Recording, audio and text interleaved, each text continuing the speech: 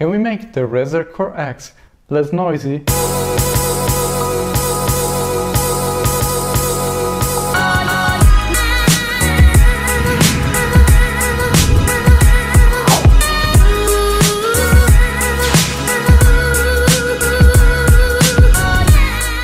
So what's up guys, Fabrizio and welcome to Shades of Tech. In the previous video we unboxed the Razer Core X and I've been using it with the AMD Radeon RX 5700 XT GPU. In my opinion it's the best eGPU enclosure you can get for the money. It's Thunderbolt 3, great build quality very heavy metal made and matte black finish. It's got 650 watt power supply that can fit up even the more demanding cards like the 5700 XT and the design is modern and to be honest it's the best looking eGPU you can find. All of this for around $300. But as soon as you turn it on, you'll notice that it's not ideally silent. I don't have any other eGPU to compare right now, but I have my 12 core Mac Pro that is almost silent even under load, and this eGPU makes definitely more noise. It's not something you want to keep on your desk all the time and for me it's quite annoying. So in this video we'll try to make it less noisy by upgrading the internal fan. We'll make an audio comparison before and after to see if we solved the problem. The Razer Core X has got two fans, 120mm intake fan that sucks air from the outside and the power supply 80mm fan that cools down the PSU and blows air outside. Now they are both noisy but the bigger one is the more audible because it's on the right side.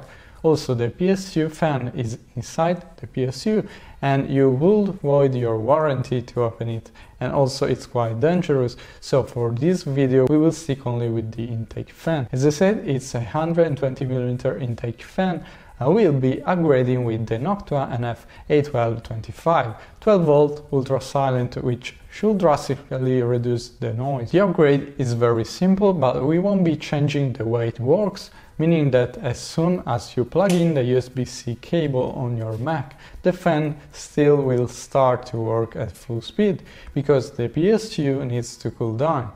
But it will be much more silent than before. Remove the fan you will need a Phillips X screwdriver, remove the four screws on the sides Then remove the 3-pin connector from the motherboard of the eGPU. Then make the same step inserting the new fan, making sure it's placed in the correct direction, sucking air from outside into the case and connect the 3-pin plug. Then screw back the 4 points. And now it's time to make some tests before and after, shall we? Same condition microphone at the same distance. With this idle condition with GPU unused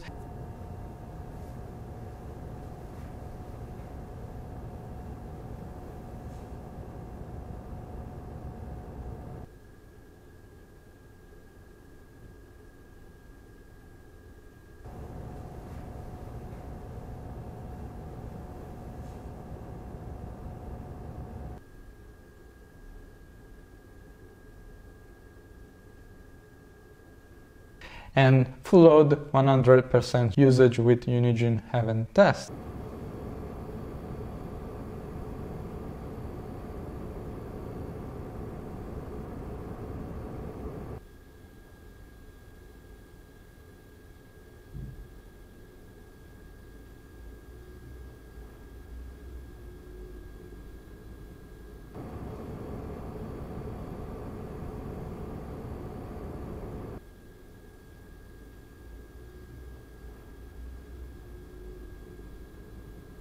Okay, so I think the improvement is very noticeable.